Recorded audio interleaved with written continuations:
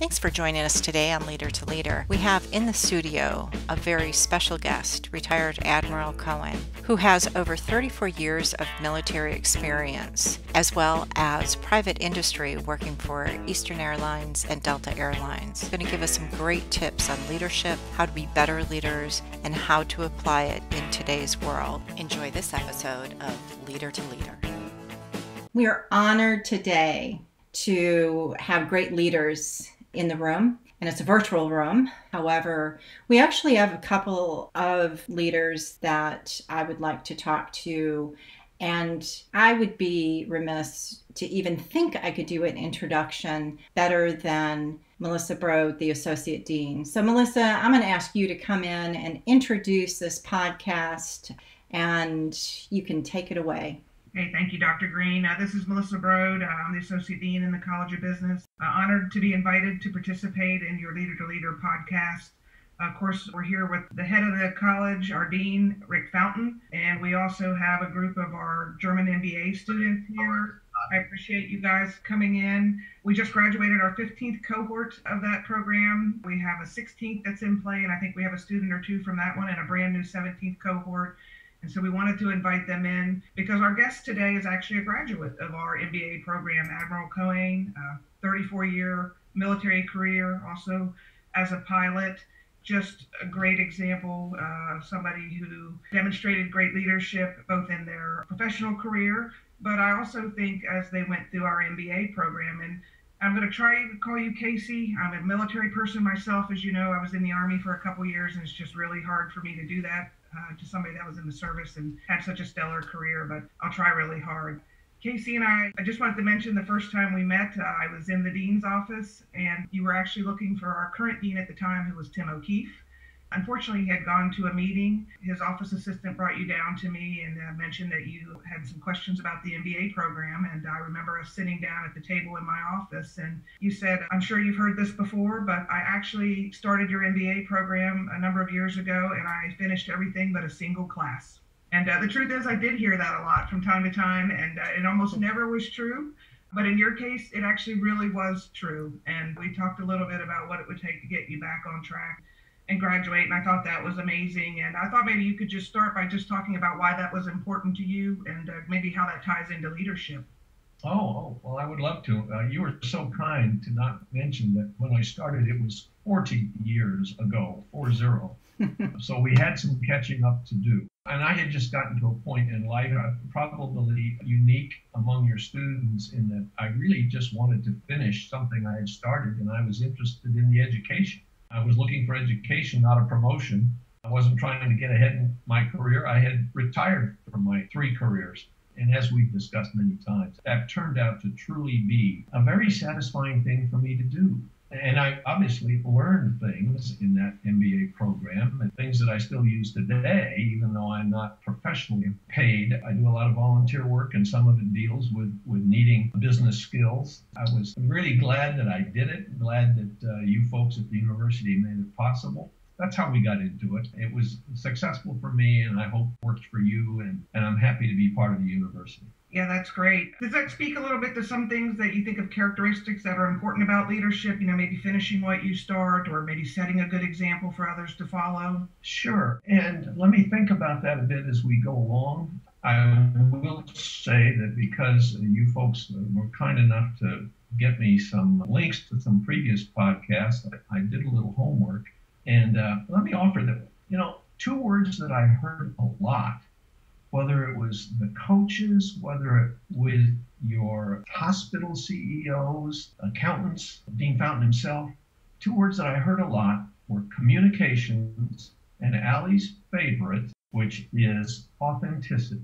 Two words in a phrase that I did not hear were vision, integrity, and know yourself. Oh, and I think part of what brought me back to the university was knowing myself. You know, what made me tick and what was missing and what I wanted to improve on. Happy to get into communications and authenticity, but I'd kind of like to talk a bit about those three thoughts because I was surprised in not hearing vision. Yeah, and Casey, I'm going to jump in as I usually do. And I agree with you on vision and understanding, if we could, and Rick can jump in as well, is understanding vision. I don't know if you're prepared to talk about vision as organization as well as the individual leader in an organization and vision.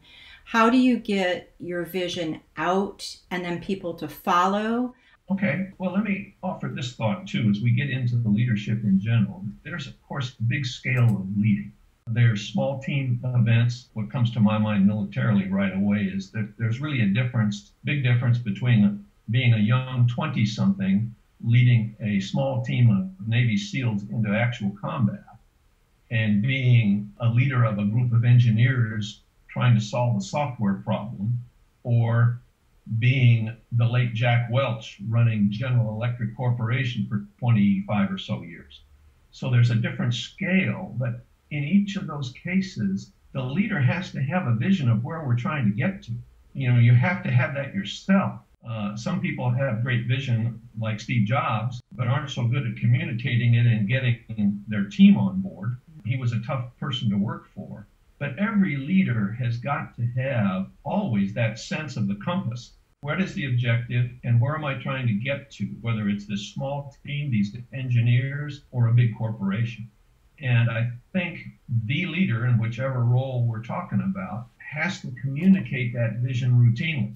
The team has to understand that objective. And, and I thought about this, you know, you were talking with the, the captain at the Naval Air Station, and that was sort of a crisis management leadership discussion after the uh, unfortunate shooting there. And then talking with your medical CEOs about COVID and trying to deal with something they hadn't planned on in both of those situations, the leader has to have that sense of this is where we have to go. And he's got to communicate that sense, he or she, to the group, I think, routinely.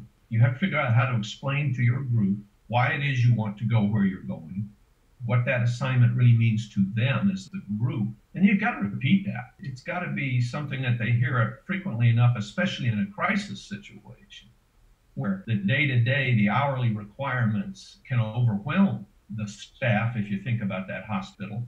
You've got to repeat that vision pretty often, I think. Kind of answer what you're looking for. It does. And I have to say that in a number of times with Rick and his vision is, I'll say, trying to figure out how best to get that out. And so communication to me means communicating in many different ways to many different people, which then, when you say that, trust is a large part of that because when you get in that crisis situation, you have to have trust that immediately you're going to do that vision. So, Rick, what are you thinking on vision and what Casey is, or Melissa? Well, I, I appreciate um, Admiral. I, I was going to ask him what his handle was since we've had so many military uh, naval aviators and they all have handles. So. Well, at one time I was called Hollywood, but that was in a small circle. My community didn't rely on uh, call signs so much. We've had a lot of fun. We did the commitment to continuous improvement from the Blue Angels, and the something I think we've tried to implement. I'm going to back into vision with this was the debriefing so that you, at the highest level, you're critiqued on what you did right and what you did wrong. And I think if my vision, that probably sometimes the hardest uh, I think for me is convey effectively my vision because we, we've had a lot of moving parts. I, I was giving a, a job description here. I'm not the typical academic, so I'm a little different than the other academic deans. And I, there were maybe 20 plus items that I have to have a vision for. So I, would like to think of vision is that we're going to be successful. We're going to have a culture of kindness and teamwork, and that we accept responsibility if I'm the leader. But it's not so much, my vision is not so much that I'm always in charge. I'm listening to people. So my vision is to accomplish many things. And so I try to convey that vision. And then to get that many moving parts when you don't have a 25 person staff, we have a small staff, and I'm blessed to work with both great leaders, uh, and they have many strengths. But my vision has had a little trouble, I think, at times. How do you rein all that in? I'd love to say, well, it's just that we're going to be excellent in everything. But it's impossible to how do you quantify that? So how do you do that? And I think what Allie has worked with is that's why we talk about communication. We were talking about how did you communicate? How would you communicate your vision in a time of crisis? How do you communicate it on the best days? So I'm I'm learning that I have to be able to more clearly express that so she can help me communicate. So that's the I think the issue for me is we, we haven't talked so much about vision, but that's what we do every day. Admiral is that we have meetings where we instead of stepping down the hall and having a 10 minute conversation about we have got to get this done. Now we have Zoom meetings all day long and we're tired at the end of the day. We're tired of talking and watching, I think my vision has changed a little bit to be a better communicator with what work we need to do and how we need to accomplish. And that's going around the world. I think it's amazing because when you were in a command level as an admiral, you had staff that did things and you knew how to convey your mission to them. I have Allie and Melissa both doing so many different things to help get the message out about my mission and then to execute on it that's the hardest thing I think for a leader is how do you execute? So sure, anyway, sure. I'll stop there. Well, that's a lot I more think, than I usually talk. well, I appreciate the insight. You know, to Allie's direct question to me, I, I think you communicate in a number of ways. And I think Rick just kind of said that. You've got to communicate in writing. And again, it's a little different at those different levels of leadership that I talked about. If you're in a very small team and you really know each other very, very well, then communication almost becomes their them watching how you do things and what it is you're talking about. If you're in a bigger staff situation, you certainly have to communicate in writing. And if you're in a far flung organization like Jack Welch was at GE, you've, you've got to routinely communicate the corporate vision, the corporate intent of what's important right now, this year, or maybe this quarter. The way business operates too much is quarterly results so I think you have to do that. You have to communicate in writing. You have to communicate directly verbally. And now, as we said, here we are zooming. It's a little different than we would prefer, perhaps. But you have to sit down every now and then with your close supporters, your close staff members, and talk about the vision and where you're going and how they perceive how things are moving in that direction or not. I was also a fan of, of management by walking around. I think I probably overdid it I think some folks I've worked with would probably say, gosh, that guy would never go away. He was always stopping by. But I'm a real believer in making those visits to the people where they work.